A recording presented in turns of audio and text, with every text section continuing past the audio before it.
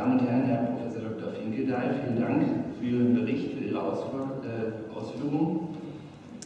Ähm, was möchte die Fraktion der Kasseler Linken Ihnen für die Arbeit an der Uni Kassel mitgeben? Sie sind in Ihrem Bericht ähm, eingegangen auf die Befristungsproblematik.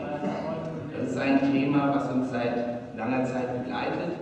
Es hat an der Universität auch äh, vor einiger Zeit sich eine Initiative gegründet, Uni Kassel Unbefristet, die seitdem sehr erfolgreich das Thema bearbeitet und auch über Kassel hinaus schon äh, Nachahmung gefunden hat. Äh, innerhalb der letzten sieben Monate gab es drei Personalversammlungen zum Thema Befristung. Da, das hatten Sie ja schon ausgeführt, auch dafür vielen Dank, ähm, über 90 Prozent der wissenschaftlichen Mitarbeiterinnen und Mitarbeiter an der Universität Kassel in unbefristeten Verhältnissen arbeitet und ca. 15 Prozent des technisch-administrativen Bereichs. Ähm, es gab im Juni eine Podiumsdiskussion mit Stadtverordneten durch die Initiative durchgeführt im Juni in der Universität. Da war leider die Unileitung nicht anwesend zu diesem Termin. Ähm, und das Thema wurde auch über diese ähm, Podiumsdiskussion, wo einige Fraktionen hier im Haus vertreten waren, auch in die Stadtöffentlichkeit gerückt. Ähm, die Fraktion, unsere Fraktion der Kasseler Linken begrüßt, dass sich die Universitätsleitung zum Problem überstarker Befristung von Arbeitsverträgen mittlerweile bekennt. Ähm, dies wird unter anderem deutlich durch einen Entwurf für eine Richtlinie, die ähm, die befristeten Verträge regeln soll und die, ich denke, in die Richtung geht, Herr Professor Dr. Kandidat, die Sie schon angedeutet haben, äh, in Bezug vor allem auf die LFBA-Kräfte, die Lehrkräfte für besondere Aufgaben. Ähm, es wird deutlich, dass die Unileitung verstanden hat, dass da ein Problem besteht. Das begrüßen wir ausdrücklich. Am Mittwoch soll diese Richtlinie dem Senat erneut vorgelegt werden. Diese Richtlinie, und da schließt sich die Fraktion der Kasseler Linken der Einschätzung der Initiative Unikasse unbefristet an, ist unzureichend. Sie ist weitgehend eine Festschreibung des Status quo und wird von äh, den Personalversammlungen der Universität Kassel ähm, daher abgelehnt.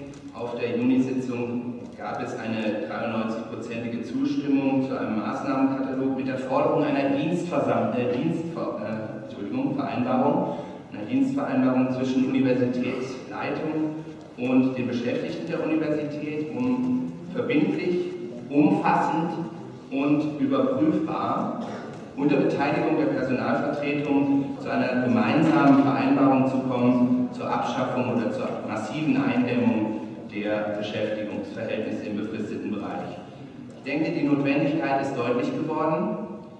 Ähm, die Auswirkungen befristeter Beschäftigung sind vielfältig. Ich möchte da nicht ins Detail gehen, aber sie hat häufig drastische familiäre, soziale und ökonomische Einschränkungen zur Folge, teilweise sogar gesundheitliche Probleme durch Stress und Zukunftsängste. Man kann sich vorstellen, was das in einem Arbeitsbereich, der ohnehin äh, höchste Konzentration erfordert und sehr arbeitsaufwendig ist.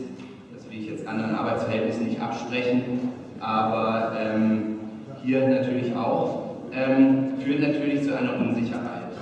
Ähm, und ich will auch gar nicht in Abrede stellen, dass es natürlich schwierige finanzielle und hochschulpolitische Rahmenbedingungen gibt, unter denen die Universität Personalentscheidungen zu treffen hat. Natürlich muss sich an der Stelle was ändern, da muss an dem Rating gedreht werden. Die Universitäten müssen mit mehr finanziellen Mitteln, größeren finanziellen Aufwänden ausgestattet werden, von Seiten des Landes vor allem, ähm, als dies bisher der Fall ist. Dennoch sind wir der Meinung, dass die auch von Ihnen angesprochenen Spielräume ähm, genutzt werden, aber nicht voll ausgenutzt werden. Dass die Spielräume für die Entfristung größer sind, teilweise weit größer sind, als diese in Kassel zum Tragen kommen. Natürlich ist die massive Befristung ein Thema aller Hochschulen, aber Kassel ist auch im bundesweiten Vergleich hier eher ein Schlusslicht als ein Vorreiter. Wir sehen, meine Damen und Herren, Herr Professor Dr. Finkenthal, als Vertreterin und Vertreter der Stadtgesellschaft ähm, hier ein Potenzial, das wir ausnutzen müssen, dass wir auch für die Stadtgesellschaft die Universität als attraktiven Arbeitsplatz brauchen, die international führend ist, nicht nur im Bereich der Forschung, sondern auch im Bereich der Arbeitsbedingungen für Forschung und Lehre, und wir möchten, dass die Universität hiervon schlusslich zum Vorreiter wird, um so für viele Kasseler Bürgerinnen und Bürger ein besseres Leben zu ermöglichen. Dankeschön.